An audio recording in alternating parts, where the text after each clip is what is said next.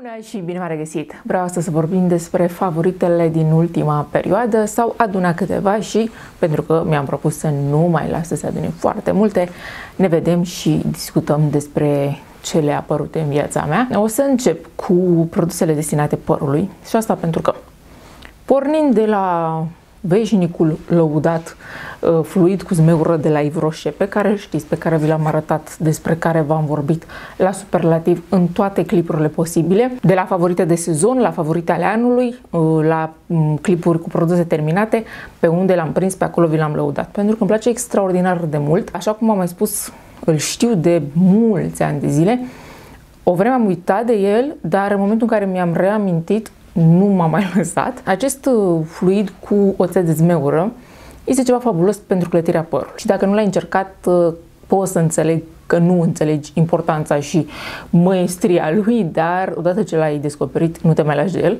Uh, este fabulos cum poate să schimbe percepția asupra ceea ce înseamnă clătirea părului despre care credeai că știi cum trebuie să se întâmple și să se desfășoare, ei bine, în momentul în care tu consideri că ți-ai clătit complet părul, vii cu uh, puțin produs dintre acesta peste lungimile părului, eu dau un pic și pe adică nu mă deranjează și nici nu influențează în vreun fel negativ uh, uh, scalpul. Și efectiv uh, clătirea părului capătă altă dimensiune, constați că părul tău mai avea o grămadă de lucruri uh, de îndepărtat. Știu că de fiecare dată am povestit aceste lucruri, dar simt nevoia să explic un pic de ce îmi place atât de mult și ce este important să fie testat pentru a fi apreciat. Uh, ei bine, și pornind de la acesta, pe care mi l-am achiziționat în triplu exemplar, uh, adică în afară de asta, pe care l-am în curs de utilizare, mai am aici trei produse neîncepute, pentru că, așa cum am spus, eu când găsesc promoție la acest produs, îl cumpăr. Iar în uh, luna aprilie a existat o campanie foarte drăguță a celor de la Yves Rocher, în care ți ofereau uh, la două produse cumpărate unul gratuit. De fapt, unul la un leu practic gratuit. Astfel că în această situație uh, fiecare recipient ajungea la 46 de lei, ceea ce era un preț fabulos. Uh, și da, mi-am făcut stoc și așa cum am spus, mereu vânez aceste promoții și îmi uh, fac stoc în momentul în care se întâmplă și apar ele. Și odată cu renașterea fascinației față de acest produs, am descoperit că tot la Ivroșii mai există o gamă Pure Detox care are uh, un alt uh, fluid pentru clătire, acesta cu um, moringa, care este de asemenea pentru purificare, îi zic ei, și spun că ar elimina particulele poluante ce asfixiază părul și reduc luminozitatea. Cumva ca descriere este similar cu acesta. Diferența vine din faptul că, spre exemplu, pentru mine gama aceasta este uh, cu precădere destinată părului vopsit, dar nu că s-ar întâmpla ceva uh, negativ dacă ar folosi un păr uh, care încă este natural Uh, produsul pentru că eu foarte mulți ani l-am folosit pe părul natural. Ce l-ar mai diferenția ar fi mirosul. Uh, acesta miroase zmeură și ăsta miroase așa amare, am zis eu. Repet, ca acțiune mi se par relativ similare, dar slăbiciunea mea pentru mirosul celui cu zmeur mă determină ca pe viitor să merg tot cu el la braț, dar merită încercat și acesta, mai ales dacă pe bază de miros credeți că v-ați identifica mai tare cu marea decât cu zmeura. Și pentru că vă spuneam că fluidul cu zmeură este cumva dedicat mai degrabă părul părului vopsit, în ideea de a avea și această capacitate de a stabiliza culoarea, dar și de a îngriji părul care vopsit fiind întotdeauna este cu un pas mai uh, jos decât un păr în stare naturală. Evident că uh, efectele negative ale vopsirii există, oricât de bună și de grozavă ar fi vopseaua. Evident că părul natural nu poate fi detronat de către unul vopsit la calitate, cel puțin în percepția mea. În aceeași gamă cu um, fluidul pentru strălucire cu de zmeură există și masca care are același scop de a oferi părului strălucire și de a îl îngriji Uh, pe bază de deteriorare uh, provocată de uh, vopseaua de păr. Însă, încă o dată, nu consider că gama este destinată exclusiv părului vopsit, ci părului care și-a pierdut luminozitatea, care este tern, care este uh, uscat, care nu are strălucire efectiv, iar uh, acest aspect poate să-l aibă și un păr în stare naturală, pentru că acest aspect este generat de mult mai mulți factori decât uh, vopseaua. Iar această mască a fost utilizată de mine în ultima perioadă, uh, pentru că am descoperit-o și am zis să o folosesc în tandem cu fluidul. Uh, evident că mi se pare că fac o echipă bună și masca are așa o textură de um, cremă hidratantă mai degrabă, aș zice eu, de, adică parcă nu are textura obișnuită a unei măști de păr, nu știu exact cum să o descriu, uh, dar cred că asta o ajută să fie potrivită oricărui tip uh, de păr, adică fie că e mai subțire, fie că e mai gros, pentru că mi se pare că e genul care nu ar încărca datorită texturii pe care o are. Și închei produsele destinate îngrijirii părului cu un șampon uscat. În mod surprinzător am un astfel de produs în preferate. Zic în mod surprinzător pentru că eu nu sunt uh, fan declarat al acestui tip de șampon. În primul rând, pentru că mi se pare mult mai sănătos să ne spălăm părul atunci când acesta ne indică că e cazul, dar evident că sunt situații în care uh, avem nevoie și de așa ceva. O chestiune apărtă pe ultima 100 de metri care nu ne mai permite să ne spălăm părul, dar totuși are nevoie de împrospătare. Și, dincolo de acest aspect, ceea ce mă face pe mine să stau relativ departe de acest tip de produs Ehm, este acțiunea uh, celor mai multe dintre uh, șamponele uscate uh, testate de către mine. Pentru că, da, au acea capacitate de a absorbi sebumul, dar mi se pare că odată cu acest lucru îi se ia și strălucirea părului. Cel puțin eu asta am sesizat, că părul devine mat, devine cu un aspect tern și da, nu mai pare un sebum evident, dar nici nu mi se pare că părul ar arăta proaspăt spălat. Mi se pare așa un compromis. Și m-a surprins foarte, foarte plăcut acest șampon, tot din gama Pure Detox, la fel ca fluidul cu moringa, pentru că nu nu afectează părul sub această formă. Din contră, mi se pare că părul își recapătă acel aspect de păr proaspăt spălat, în limitele decenței, cu dacă a trecut o săptămână de când ne-am spălat, nu știu ce rezultate ne poate oferi. Eu vorbesc aici de a-l fi testat pe un păr nespălat de uh, 3 zile. Nu știu mai departe ce s-ar putea întâmpla. Mai mult decât atât, chiar mi se pare că oferă volum. Spre deosebire de alte șampoane, în cazul cărora volumul pe care îl căpăta era așa de 5 minute, acesta chiar mi se pare că se menține pe un termen mai lung și probabil că e tocmai din acest motiv, ca urmare a faptului că nu îmbuxește părul, că nu îl încarcă, că nu este evident. Probabil că pulverizarea asta este una foarte fină și nu se depune așa într-o cantitate majoră pe firul de păr ca să-l îngreuneze și să-l facă să pară fără sebum, dar nespălat în același timp. Nu știu dacă este doar datorită pulverizatorului, dar mă surprinde și că nu uh, lasă acele reziduri albe, pentru că acele reziduri albe care rămân în uh, cele mai multe dintre cazuri atunci când utilizezi un șampon uscat, de-aia am simțit nevoia să-l laud, să-l aduc în atenția voastră, uh, mai ales dacă sunteți genul care apelați mai des decât mine la un șampon uscat, dar și pentru mine este important că l-am identificat, pentru că îmi doresc ca atunci când apelez să știu că merg cu ceva la sigur și că uh, părul meu chiar arată bine proaspăt spălat. În continuare, în materie de skincare, vreau să vă vorbesc despre o cremă de la Medicube. Este un brand corean, este vorba despre o cremă care are la bază colagenul și da, știu că am zis despre colagen, că nu e genul de ingredient uh, la care să apelez uh, în, la foarte multe branduri în scopul de a mă ajuta real pentru că este un uh, ingredient cu o moleculă mare care nu poate acționa în uh, profunzime ca să aibă într-adevăr o acțiune benefică. Dar uh, eu cred m-am luat așa pe bază de mm, curiozitate, pentru că citisem o grămadă de review-uri pe e-style cu privire la ea, care ar fi minunată și care avea o textură fabuloasă. Și cam așa este. Nu a reușit să o detroneze pe aceea de la Medipil, dacă știți, aceea a rămas încă suprema în materie de textură, dar e pe acolo, e prin zonă, se ține aproape de aceea. Uh, așadar, o consider o cremă foarte faină. Pe lângă colagen mai are și niacinamide și o serie de uleiuri hrănitoare, ceea ce până la urmă face o cremă de seară veritabilă, textura o recomandă în acest sens, nu este foarte grasă, adică ar putea cumva fi folosită și într-o rutină de dimineață, dar în ceea ce mă privește în această perioadă în care au crescut și temperaturile, nu aș apela la ea, pentru că am altceva mai bun, mai fain și cu o textură mult mai lejeră. Și când zic asta mă refer la aceasta de la AHC.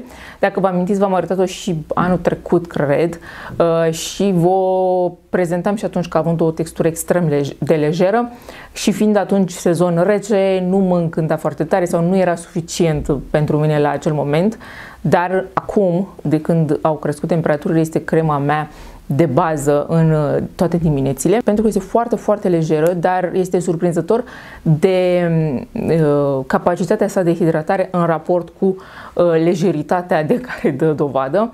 Îmi place foarte mult, uh, mi se pare ideală pentru rutina de dimineață, repet, Într-o rutină de seară cred că ar fi prea puțin. Mie seara îmi place să pun o textură care să contribuie și să sigileze produsele aplicate înainte și atunci ea nu ar fi prima opțiune. Dar pentru rubrica, dar pentru rutina de dimineață mi se pare perfect în această perioadă și doar la ea am apelat în ultima vreme. Pe bază de niacinamidă am uh, și un ser de la Anua, habar n-am cum se citește acest brand, este ceva ce am primit de la cei de la YesStyle. Este un ser dedicat în principiu tenurilor cu probleme de hiperpigmentare. Nu mă confrunt cu așa ceva din fericire, dar mai am și o semne de la coșuri și cumva să zicem că m-ar putea ajuta în acest sens. Uh, și ea este dedicată acestor tenuri pentru că pe lângă concentrația de 10% niacinamide, are și acid, acid tranexamic, dar și arbutin. Ingrediente care sunt recunoscute pentru potențialul lor în ceea ce înseamnă inhibarea producției de mm, melanină. Dar mie îmi place să-l folosesc de asemenea în, în uh, am ceva cu rubrica de dimineață, în rutina de dimineață, pentru că, datorită concentrației de niacinamide, Uh, care printre multitudinea de funcții uh, pe care le are, are și această capacitate de a diminua producția de sebum, lucru care pe mine mă ajută în această perioadă. Ultimul produs în materie de skincare este o nouă vitamina C care a intrat uh, de ceva vreme în rutina mea. Este vorba despre această vitamina C de la Rodomentolatum. Acesta ar fi brandul căruia, spre exemplu, îi aparține și acel ser fabulos uh, Hadalabo pe care vi l-am prezentat și pe la sub toate formele lui și pe care vi l-am lăudat mereu.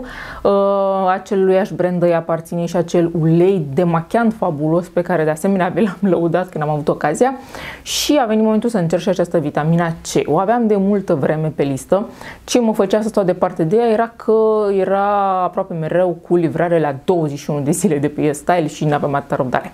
Și la un dat am găsit-o disponibilă în stoc și am comandat-o. Este un produs interesant, uh, este un produs care, cel puțin de o lună și de când l-am eu deschis, nu și-a modificat absolut deloc transparența, să zicem, pentru că știți că de obicei așa pornim cu vitamina C, de la a fi transparente și a se transforma pe parcurs în ușor gălbui, mai gălbui, portocaliu, maroniu și gata de aruncat la gunoi. Aceasta a rămas impecabilă, intactă din acest punct de vedere, lucru care m-a surprins. Uh, are și un um, dispozitiv de scoatere a produsului intersănțel.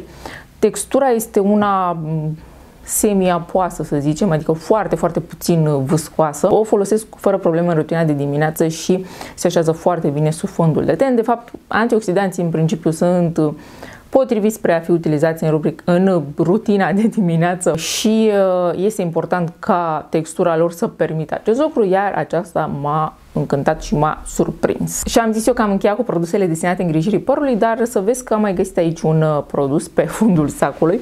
Uh, mă rog, este ceva mai diferit dacă vreți. Este un produs dintre acelea care are rolul de a masca rădăcinile crescute că tot vorbeam despre vopsirea părului, știm că este de un real ajutor genul acesta de produs dacă îl găsești de asemenea fain și să facă o treabă minunată pentru că tot ce am încercat până acum era fie uh, urât ca nuanță, fie, adică erau nuanțe de la roșiatice, maronii, mm, nimic plăcut, fie erau, am mai încercat niște pudre de aici pe la noi, care aveau această capacitate de a mătui părul așa într-un, într-o manieră vizibilă și nu prea îmi plăcea nici această chestiune. Uh, și am încercat eu acest produs corean de asemenea, Color Gram se numește. Este mai interesant și ca manieră de aplicare, adică are aici un brățel cu care evident că uh, masezi rădăcinile dacă vrei și de aici își ia cantitatea de produs. Iar aici interiorul este așa cu o plăsuță, dacă vreți,